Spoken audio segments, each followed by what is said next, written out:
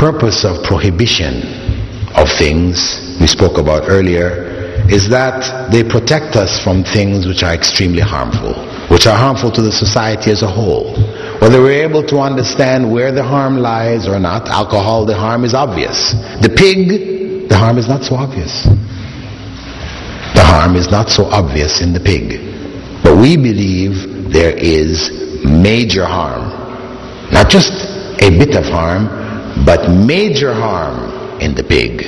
Otherwise, Allah is not going to prohibit it. He is not desirous of creating difficulties in life to keep us away from things which are beneficial. No. He prohibits the things which are harmful, where the harm is widespread. So when he prohibited the pig, it's because there's real harm in it.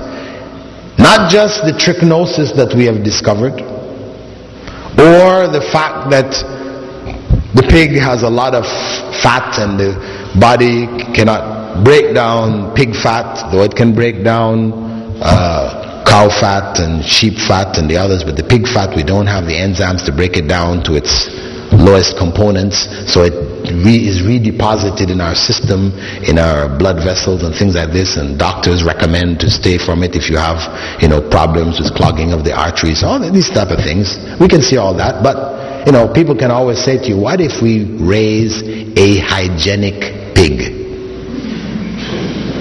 No trichinosis. And a lean pig, we don't feed him any, you know, stuff that's going to make him fat. He's just bones and muscle. Are you going to eat him now? No. Still don't eat him. Yeah. So those things we have found, let us not assume that that is it. No. There is harm. Some of the scholars of the past pointed out that perhaps the harm had to do with the nature of the pig. When we look at the animals that are prohibited to us to eat, from eating, we see that in general, there are animals which are carnivores. Carnivores, the lion, the tiger, birds of prey that kill with the claw, the hawk, the eagle, the osprey, these, they are prohibited to us. Alligators, etc.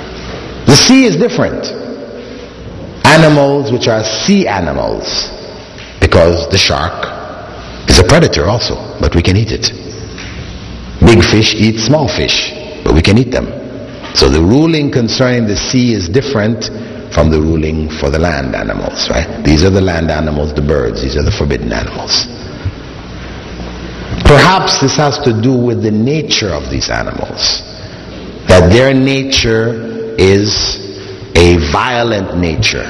When you observe the cow and the sheep and the goats, when they eat their vegetable matter, very chewing the cud, you know, this is just calm type animals.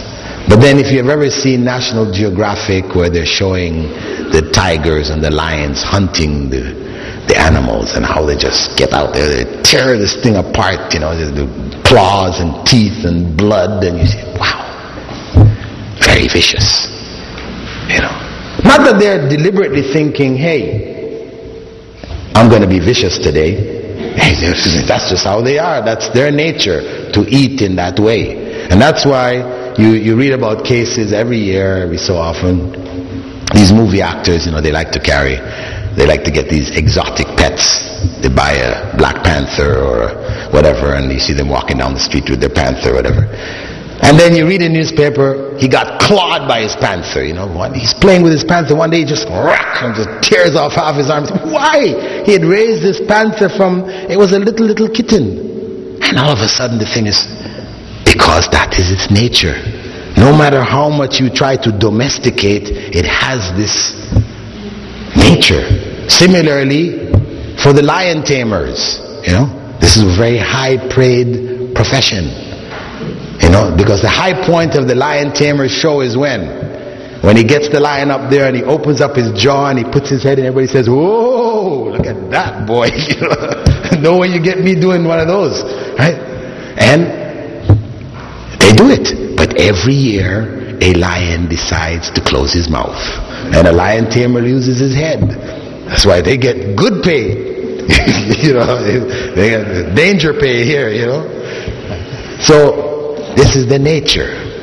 And anybody who has observed the pig, go to a pig farm and observe the pig. Its nature is filthy. Just loves filth. You put him in a clean area, he will wallow in his own feces and yes, that is the nature of the pig. However you try to keep him, he loves filth. So, as they say, you are what you eat. There's a famous German nutritionist, he started that statement. You know, you are what you eat. That's the bottom line. You're eating the pig you're building yourself up with the pig, his enzymes, his protein, his, you know, genes. Your body's breaking it down and remaking itself. It is affecting you. It is affecting you. Allah knows. This could very well be the essence of it. Now some people say, hey, the pig, why did Allah make the pig then? You know? And of course, Muslims, people who are raised as Muslims, who have lived lives as practicing Muslims, who have never eaten the pig, in their mind, the pig must be nasty tasting. Well, to be honest, I was raised a non-Muslim. And my parents used to cook up pork and it tasted good. It didn't taste bad. It tasted nice. And that's why it's popular. So it's not about it being nasty tasting. No, no, not at all. So the people ask, well then why did Allah forbid it? You know, if we discount this other element, right, of you being what you eat and all the other things, right? We say, hey, observe the pig. The pig is a garbage disposal unit, a living one. You got garbage, filth, whatever the pigs goes, they clean it up for you. So, that's his job, that's his role. And you don't have to eat everything Allah made. Do we eat flies? You know, people could argue, why don't we eat the fly? we don't have to eat the fly. He has a job, he does his job, he's very important. Some kids ask, why did Allah make the fly? It's so nasty. The fly has an important role. If we didn't have flies that lay their eggs in, in animal matter, and then the maggots come out and chew it up and break it down, we would be up to our necks in you know carcasses and things like that because it won't break down without them.